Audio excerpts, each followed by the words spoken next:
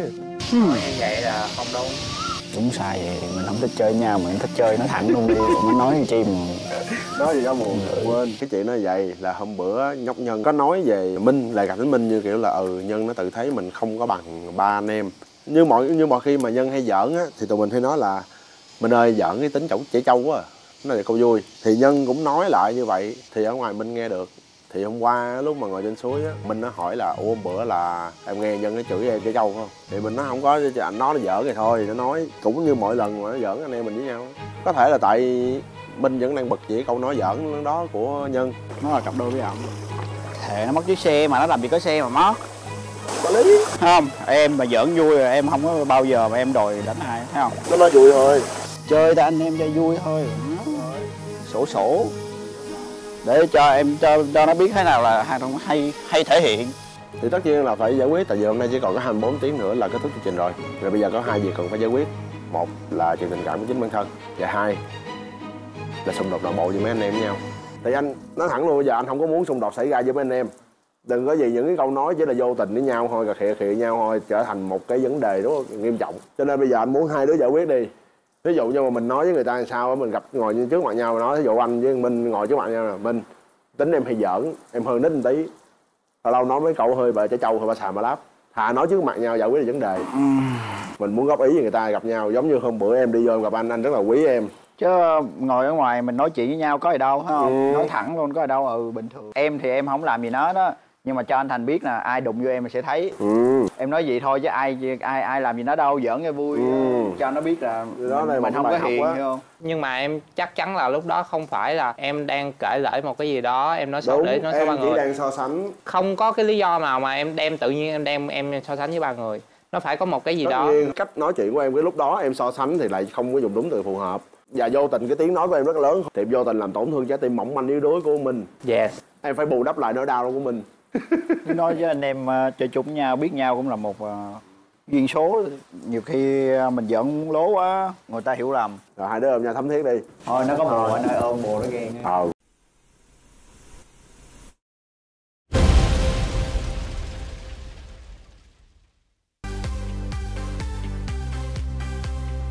Rồi bây giờ có hai việc cần phải giải quyết. Một là chuyện tình cảm của chính bản thân và hai là xung đột nội bộ với mấy anh em với nhau. Đúng rồi anh biết vì sao mà em biết anh thích ý mà em vẫn nói ra được câu đó họ không phải còn hiểu lầm anh không? Còn xíu à. Chuyện gì? Sau hoạt động làm vườn khá là vất vả, các thành viên Love House trở về nhà chung để cùng bà Mabio chuẩn bị một bữa ăn vô cùng đặc biệt.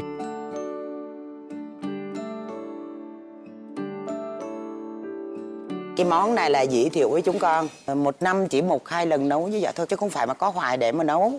À, Tại cái món này là món của người dân tộc Chua mấy bà. Rất là đặc sản. Tại vì cái này là khách quý mới được nấu. Ở trong này là gồm những gì bà? Da trâu, cà đắng, xả, cà chua, ngò gai.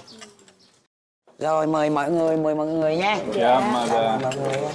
Ngon quá à. ăn xong rồi mới thấy được cái cái đắng. nó có cà đắng á. Ừ, da trâu nó rất là giòn. Ngon. Này ăn miếng thì nó ngon bà. Ăn nhiều đã. Rồi à, mấy cháu gái tìm được bạn trai nào chưa?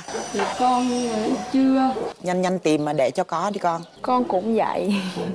Rồi tới ly. Chưa luôn không hả? không dám nói. Rồi tới bé luôn hả? Trời ơi Thời cơ sạn có như vậy chụp lấy đi. Mấy bé này mùa 12 chuẩn bị đổi chương trình độc thân sao ấy? Dạ, anh sao anh hay nói té vậy? Có. Có. Có sẵn sàng chưa? Sẵn sàng Thôi như vậy thôi nha các con nha. À, Thôi chúc các con à, lên đường à, bình an nha. Cảm ơn mà Dạ, nhưng mà Rồi khỏe. đi nha. Rồi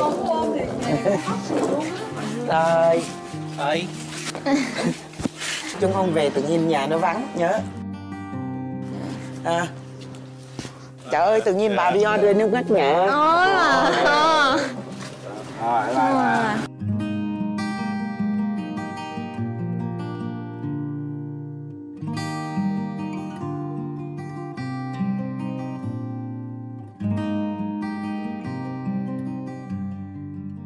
Thật khó khi mới đây thôi đã phải nói lời chia tay và đằng sau những giọt nước mắt hôm nay, họ sẽ khó có thể quên những kỷ niệm về nhau của ngày hôm qua.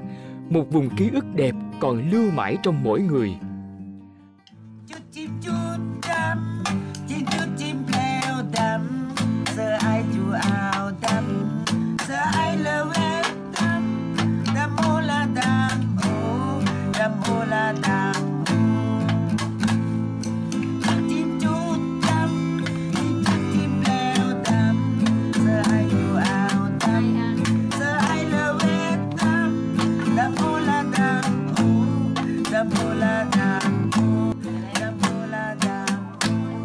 Rời khỏi xã Lạc Xuân, huyện Đơn Dương, chuyến xe tình yêu tiếp tục đưa các thành viên ngôi nhà chung tới địa điểm cuối cùng của hành trình ở thành phố Bảo Lộc, tỉnh Lâm Đồng.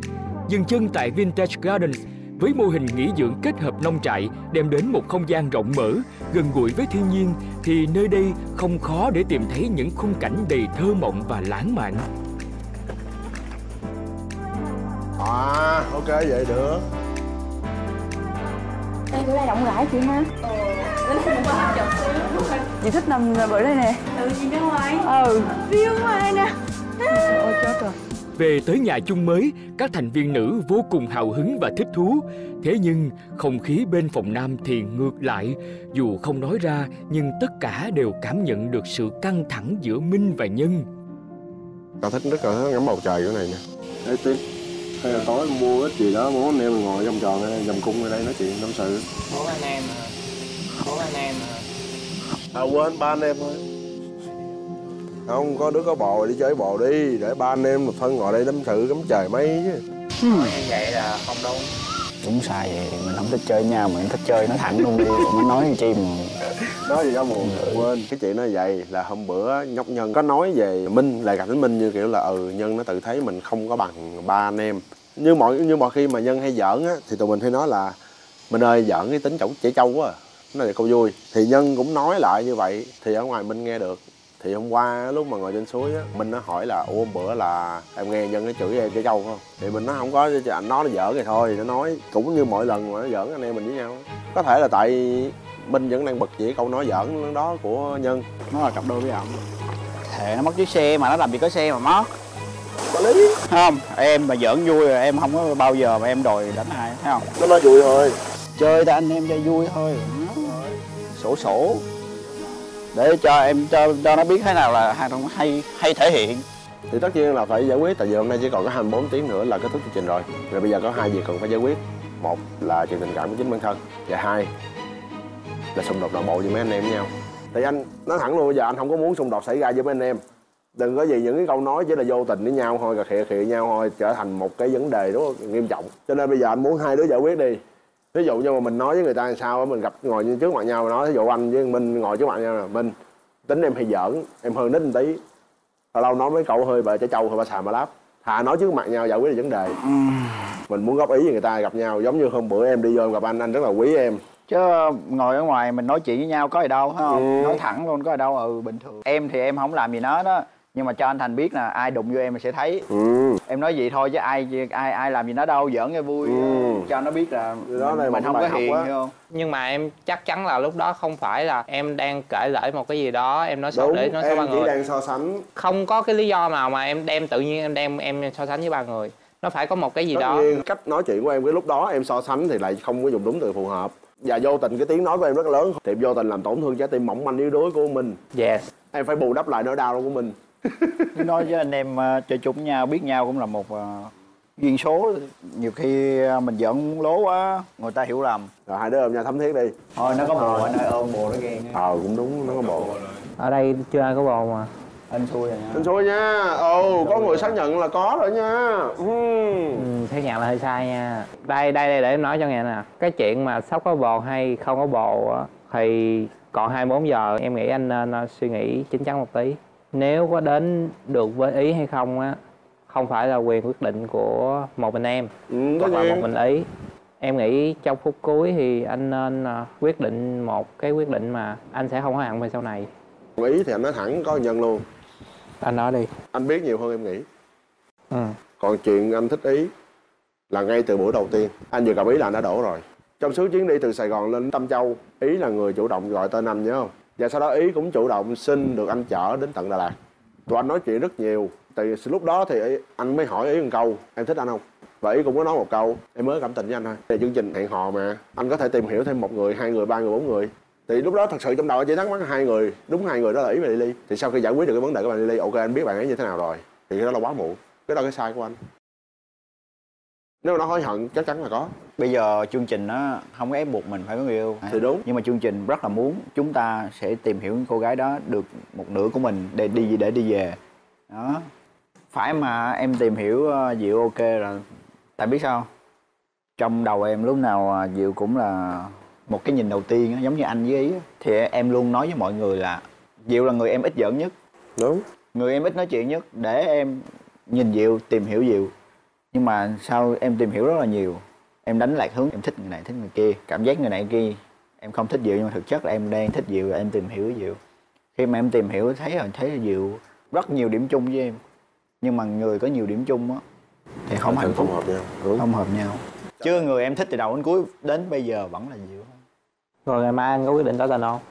Ờ, chưa biết để xem sao. Chưa biết. Tại cái chuyện tỏ tình với Austin là chuyện rất là lớn luôn. Thật sự luôn. Mình phải rất là thích người ta mình mới em em cũng vậy Đó, đúng rồi. nhưng mà ngày mai em vẫn muốn tặng cho Diệu một món quà. Ở tình tỏ tình đầu. Em tỏ tình hai anh tỏ tình ba mà tình cuối. Ok.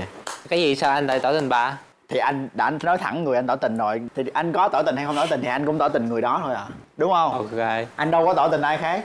Anh không có quan trọng là ai khác nhưng mà em muốn em là người cuối hoặc là gần cuối em là phải một là mở màn phải mở đầu, là thứ hai. Đầu xuôi đuôi lọt Vậy là những mâu thuẫn bên trong các thành viên nam cuối cùng cũng đã được giải quyết. Và vấn đề mà họ quan tâm lúc này là việc có nên hay không thổ lộ tình cảm của mình với đối phương. Khi mà giờ đây tất cả chỉ còn chưa đầy 24 tiếng để ở bên nhau.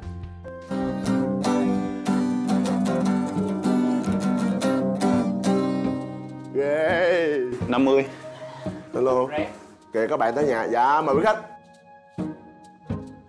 Ủa anh chán quá hay gì Qua chơi thăm nhà thôi Và tận dụng khoảng thời gian ít ỏi này, các thành viên ngôi nhà chung quyết định tụ lại bên nhau cùng đàn ca vui đùa.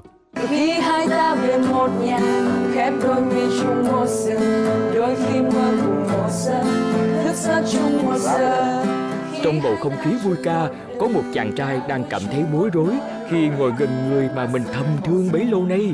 Thế nhưng giữa họ lại là muôn vàn sự hiểu lầm. Và có vẻ Lily đã phát hiện ra sự bất ổn trong tâm trạng của chàng trai lúc này. Có phải là anh thích chị Diệu đúng không? để tới ngày cuối cùng không hay là phải trả lời luôn bên ngay bây giờ Cũng thắc mắc là tại sao chị Diệu ngày đầu tiên chỉ vui vẻ với anh Xong bắt đầu từ ngày thứ hai là chị né anh không? tại vì cái tính của anh Chị Diệu có tâm sự với em là cái tính của người con trai mà chị ghét nhất và chị muốn né nhất là khi mà vừa gặp mà kiểu nói về vật chất quá nhiều á. Em nghĩ nha, là hai người là đang hiểu lầm nhau thôi. Anh không có ý đó, và chị Diệu đang hiểu lầm là anh khoe khoang.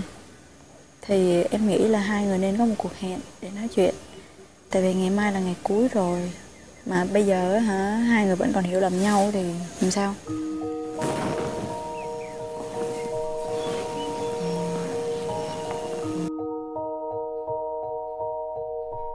Cái gì khó nói hả? Giờ em nghĩ anh nên làm gì? Giờ anh anh đang nghĩ cái trong lòng anh nói em nghe rồi tại vì anh ờ, quá đặt nặng cái vấn đề gọi là tìm một người để mình thương á. Ừ. đến ngày hôm nay em mới biết là anh với diệu có quá nhiều điểm chung. Ừ. Nhưng mà anh không thích quen người có nhiều điểm chung với mình. Anh cảm thấy nó nó cũng sẽ ờ, đổ vỡ. Diệu là một người dễ xúc động. Anh cũng là một người dễ xúc động nhưng mà anh giấu được. Anh làm mọi thứ nó loạn hết đó anh vui hay anh buồn anh tức gì mọi người sẽ không biết gì hết á nhưng mà Có em đang biết em đang biết anh buồn á. Không anh buồn bởi vì ờ, những cái mà ờ, mọi người không nghĩ xấu về anh thì diệu đã nghĩ xấu hết rồi. Còn gì nữa đâu mà nói. Sao anh biết? Chị Diệu không thích anh. Chị Diệu chỉ là có ấn tượng xấu vì cái lần đầu mà đã đi chung với nhau mà anh nói những cái chị không thích rồi. Đó là hiểu lầm thôi. Nên anh mới cần có một cuộc nói chuyện để anh giải thích ra. Muộn rồi hôm nay còn ngày cuối rồi kịp. Anh không nói là không kịp á anh không nói là hối hận á. Nè người con gái anh thích anh muốn tìm hiểu anh muốn đi xa hơn với họ. Mà họ hiểu lầm anh. anh muốn đi xa cho nên anh mới lúc nào anh cũng nhìn theo dõi á. Anh không cho diệu biết là ừ à, anh Trời anh theo dõi diệu. Nhưng mà anh anh đang bị cái gì anh biết không? Có nghĩa là chúng ta chỉ có 8 ngày thôi 8 ngày bên nhau. Anh không nói luôn anh để người ta hiểu lầm luôn và anh mất người ta mãi mãi. Anh chấp nhận vậy hả? Chị diệu là người tốt nha em ở chị diệu em biết nha. Anh là người xấu. Không em không có đánh giá ai hết á nhưng mà em thấy anh tốt bụng. Anh cũng tâm lý á chỉ có có vài cái là em không thích thôi. Thì em cũng có nói thẳng, nói thẳng với anh rồi. Anh hiểu ý em không? Là bây giờ khi mà em vô á anh ra gặp chị diệu liền đi. Không còn thời gian nhiều đâu. Mai là về rồi. Hỏi chị diệu là cái không thích của anh là gì đó xong anh gỡ ra anh giải thích ra. Anh trai đi. Em tin là anh làm được mà. Nhiều hơn lời anh vẫn nói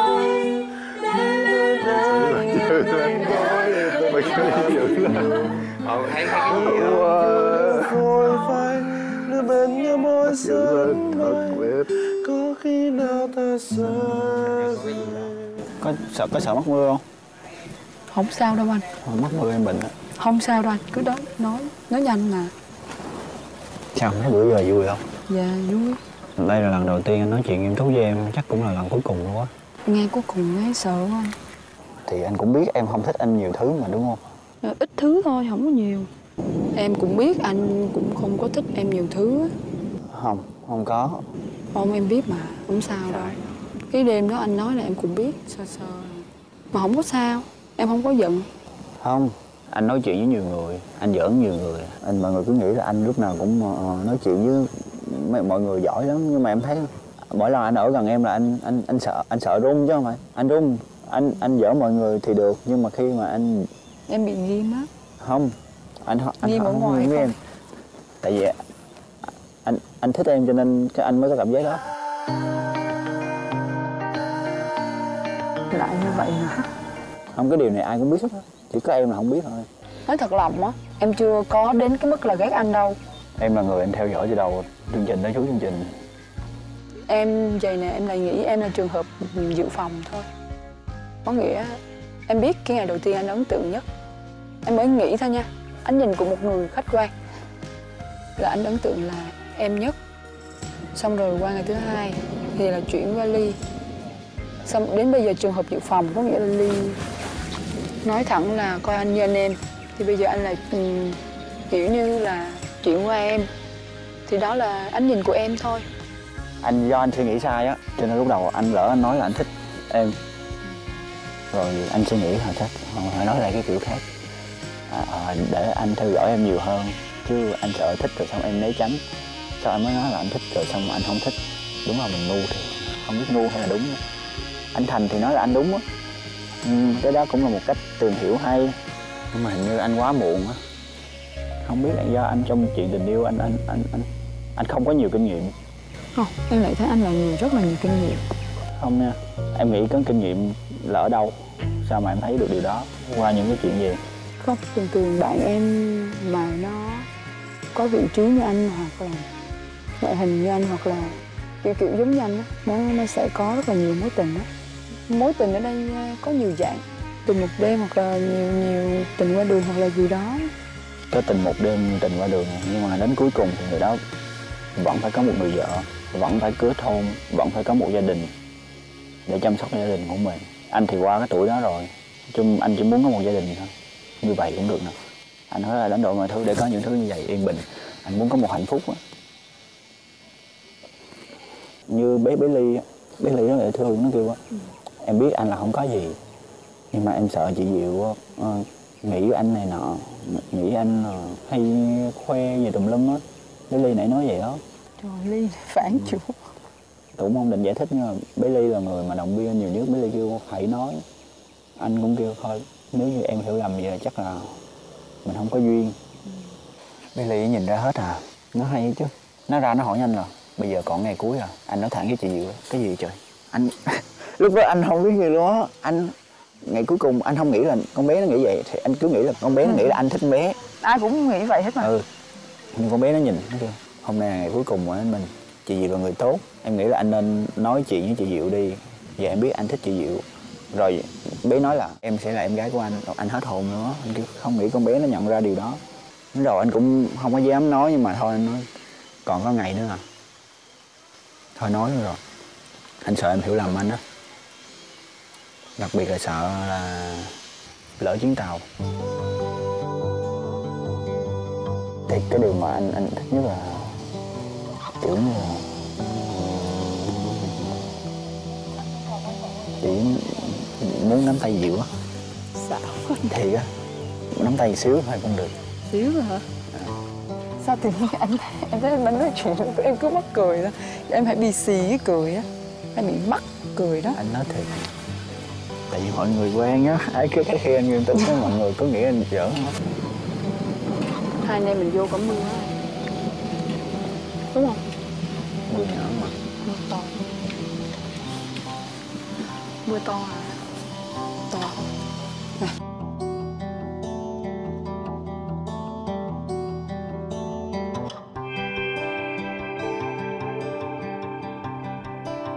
Sao còn hiểu lầm anh không? Còn chút xíu à Chuyện gì? Em không biết nữa. Không giải thích được. Anh quan sát em từng ly từng tí luôn Đến hồi chiều em chia tay bà Anh vẫn đứng nhìn em. Chỉ có mình anh đứng nhìn em. Em khóc xấu lắm mà Em có quá nhiều cảm xúc luôn Cái điều đó làm anh buồn. Không em thương bà thiệt.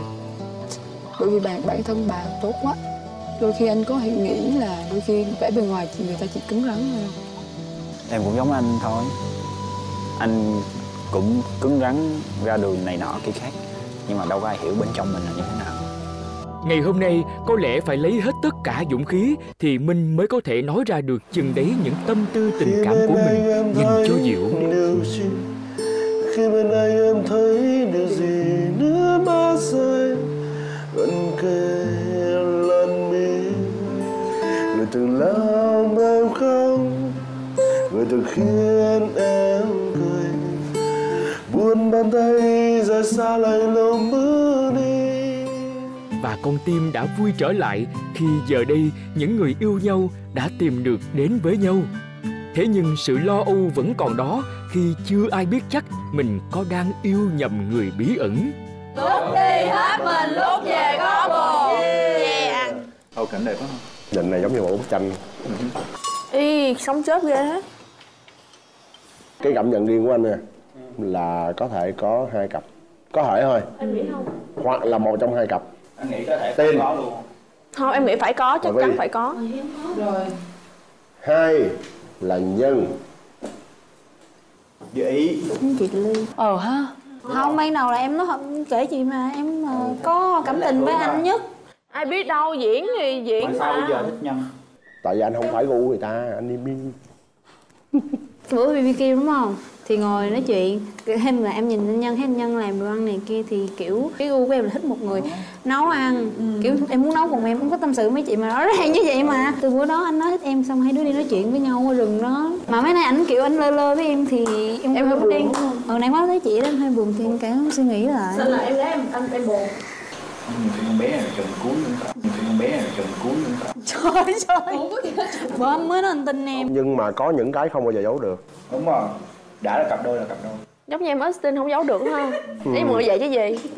Mọi người sai rồi Sai rồi. Vì nói nhiều cái bữa đó mà vì mình đã Ồ mình là cặp đôi bí ẩn rồi Đích tin là đạp sư lọt xuống cái Đạp lọt xuống ờ, Trời em thiệt luôn, vậy nếu mà em không phải sao chứ mọi người cứ nói hoài vậy? Em không phải anh tự lăn lăn xuống. Nha. Anh nhớ nha. Em không phải cái đó bí ẩn là anh, anh Minh tự lăn lăn lăn xuống cái đồ chè. Đúng rồi. Bây giờ anh bắt em lăn thì giờ anh cũng phải lăn chứ. Đúng rồi. Anh ngang ngược vừa thôi. Nhiều khi mọi người nghi ngờ em riết mà em kiểu như em suy nghĩ là có khi nào mình là cặp đôi bí ẩn mà mình không biết hay không luôn á. Thì phải không anh anh chị Vi không? Anh biết người rồi. Ai? Anh với ai. Ơi à mọi người đáng kịch bản nhà là lên trển tụi mình phải giận nhau nha em. Tụi mình giận nhau trong tới ngày đó đến ngày đó ngày đó ngày đó ngày đó là tụi mình hết giận nhau nha em. Chị Vinh Thành đó. Không chị với anh minh chị với anh minh. Là xong là tụi mình lấy 100 triệu nha em tụi mình đi du lịch nha em. Cái hôm ngồi nhận xét nhau còn bảo là ghét nhau thì đó không ai kêu nhận xét mà ngồi ghét nhau hết đó đúng rồi. Mình giả bộ hôm đó mình nói mình ghét nhau nha chị ly em. chị ly chị bị dụ rồi đó. Cái gì rung dữ vậy em tin chị quá nhiều. Ly Giờ ở trong phòng em chị chị gian dối em điều gì cho chưa luôn? Tại em chưa biết thôi chứ không phải là chưa. Tại sao nghĩ mình với Diệu là cặp đôi bí ẩn tại sao? Tại đó em cũng nói rồi đó là cái đợt mà em với anh ngồi nói chuyện á anh nói cái chuyện mà anh biết à, diệu trước đó và em hỏi diệu thì diệu kêu không á anh nói là để để để anh không muốn ai cua diệu thôi chứ đâu phải là anh anh anh làm với diệu cặp đôi bí ẩn nếu mà anh không muốn người khác cua diệu thì anh phải nói là diệu là cặp đôi bí ẩn chứ không anh còn đằng nói- này anh nói diệu không phải là cặp đôi bí ẩn tức là nhiều người sẽ cua diệu chứ Anh đi nước khác, anh Đi tính cái nước khác. mà. Nước gì mà thì anh đi nước vậy? khác anh đi nước tới nỗi đó. Đích tin nhìn diệu chỉ là em gái thành nhìn diệu chỉ là em gái thằng nhân thích nhỏ khác cuối cùng diệu là của ai? Của anh. Đó rất là hay không? Rất là phải xác định.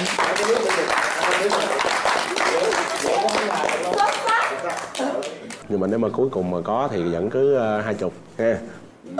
Bốn chục luôn cũng được. Ok bốn chục luôn rồi double luôn. Em bốn chục anh sáu chục luôn. Cho ok chồng hai anh em mình một trăm luôn. Hai anh em. ơ hai hai anh em mình. hai vợ chồng mình. Đúng rồi, rồi đứa mình. được luôn. Hai vợ chồng mình 100 triệu luôn.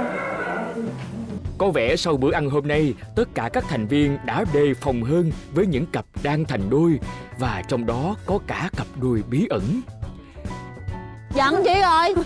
Thế chị nghĩ em em em ngủ chung chị mấy ngày nay mà chị còn nghĩ là coi đâu bí ẩn hồi bữa hôm qua tụi anh Minh vô phòng em nè hỏi anh Minh là sao anh Minh kêu là từ đầu đến cuối anh chỉ thích một người thôi. Mà trước đó anh Minh nói là từ đầu anh Minh thích chị Diệu nhưng mà sau đó anh chị Diệu kỳ quá nên anh Minh không thích nữa. Anh thích mang tiếng hát cho mọi người cho mọi người vui. Cho tim của mình nó biết đàn à đúng không em đánh đúng được cái điều mà ý cần. Và sau đó em cũng nói em thích ý anh mừng gì em mới nói ra điều đó trước anh. Anh biết vì sao mà em biết anh thích ý mà em vẫn nói ra được câu đó không? Anh không quan trọng. Người nào nắm bắt cơ hội tốt thì người ấy có thôi. Vui lên đi. Thiệt. Anh thấy mày hợp với ý hơn anh cùng lắm độc thân tiếp gì đâu đường vào tim em môi băng giá Trong cơn mưa đêm đầu mùa, chất chứa vô vàng những cảm xúc. Tất cả các thành viên ngôi nhà chung đều biết rằng họ chỉ còn mỗi đêm nay để cùng nói ra hết những nỗi niềm còn vương vấn trong lòng. cũng là ngày gần cuối rồi mọi người là cũng có được 7 ngày bên nhau thì thôi bây giờ chơi và chơi vậy đi mỗi người sẽ kể một cái cảm xúc hoặc là những cái kỷ niệm gì bạn thấy vui nhất của chuyến đi này? Đúc đúc đồ ha. Chị Ly có thấy trướng mắt khi ngồi vậy không? Dạ không thấy vậy Dạ. em ngồi đây em đâu thấy để em biết mà. Em lựa chỗ ngồi kế cặp này để em không thấy gì á. Vâng chơi đi mọi người. Thôi em ý sao uống nhiều vậy? Ôi, hai ly rồi. em bị Ôi, gì vậy. sao vậy? Nước. Từ từ mình còn ngồi cả đêm mà bé bé uống dữ quá mặt bé đỏ hết rồi. Chưa kịp chơi trò chơi luôn. tập trung để anh thành nói nè. Cái nè. Thôi tiện đây ngày cuối cũng nói rõ luôn anh xem Diệu, Vi và Lily. Như những người em gái. Còn ý. Thì anh xin lỗi. Và anh cảm ơn. Xin lỗi vì anh đã phạm sai lầm. Xin lỗi vì làm em tổn thương. Em, Dạ, em cảm ơn. không thương gì đâu. Có thể là cảm nhận của anh thôi. Thì cảm ơn vì đã còn nói chuyện với nhau đến giờ phút này. Và đến hết chương trình. Như vậy thôi. Người ý có gì nói với anh thành nói luôn nói ý. Không có gì đâu nói. Thì nói. Em nghĩ gì em nói đó. Em nghĩ thích gì em nói. em ghét thì em nói. nói. Hết em nói chuyện với anh thành rồi mà hôm qua rồi. Nhưng bây giờ mọi người chỉ nói có mọi người nè. Chị em không có được vui đâu không muốn nói chuyện đâu. Rồi bỏ qua đi không sao. Em không vui gì em Vui nói gì gì chứ? nghe được không? Không gì đâu. Tiếp đi. Mọi người đang chờ em nói mà muốn lắng nghe từ em á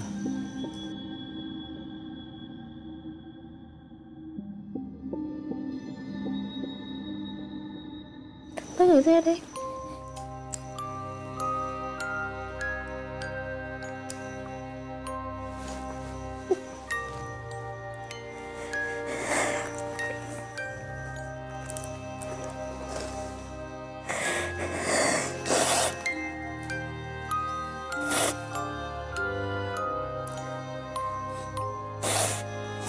sao khóc ấy?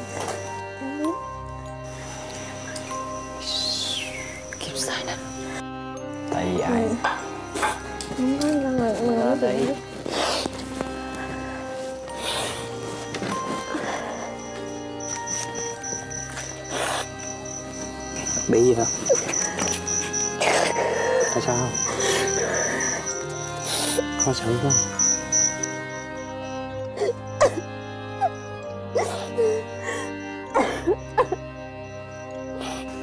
Thật sự bây giờ anh muốn nói cho mọi người biết mình là cặp đôi với hạnh Nhân và Ý đang có quá nhiều áp lực và khó khăn khi phải che giấu thân phận thật của mình. Biểu hiện của cả hai chắc chắn sẽ khiến rất nhiều người phải chú ý và nghi ngờ. Liệu cặp đôi bí ẩn có tiếp tục với thử thách tình cảm hay sẽ quyết định dừng lại? Và khi thời gian dành cho hành trình tình yêu không còn nhiều, thì Thành và Lily có tìm được bến đỗ cho mình như các thành viên khác hay không? Hãy đón xem diễn biến tiếp theo khi sự kiện đêm nay vẫn còn dài.